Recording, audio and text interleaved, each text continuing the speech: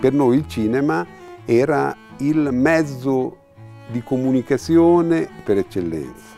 Il comune avviò questo progetto della Cineteca del Comune di Rimini che io diressi dall'inizio. La prima rassegna felliniana che organizzai fu Fellini al Fulcro. Rimini è l'oggetto privilegiato della sua creatività. Lo spettacolo è anche il luogo dello spettacolo, la piazza, il porto e poi naturalmente Grand Hotel. Questi sono i luoghi felliniani dell'immaginario.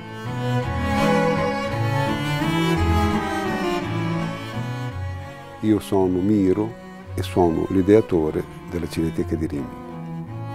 Noi siamo l'Emilia Romagna e questa è la nostra storia.